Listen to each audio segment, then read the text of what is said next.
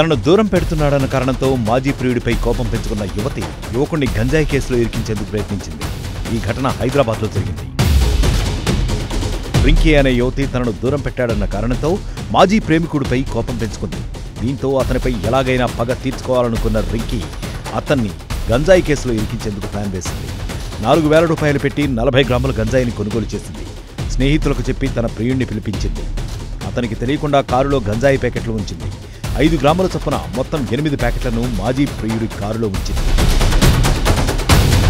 తర్వాత తన ప్రియుడు స్నేహితులతో కలిసి జూబ్లీ హిల్స్లోని ఓ పబ్కు వెళ్ళింది రింకీ. అందరూ పబ్లో ఉండగా పోలీసులకు ఫోన్ చేసిన రింకీ శవణనే యువకుడు పబ్లో గంజాయి అమ్ముతున్నాడంటూ పోలీసులకు ఫిర్యాదు చేసింది. పబ్లోకి వెళ్ళి గంజాయిపై ఆరా తీసిన పోలీసులు అసలు విషయం తెలుసుకుని అవాక్కయ్యారు. రింకీ సహా ఏడుగురిని అరెస్ట్ చేసి స్టేషన్కు తరలించారు.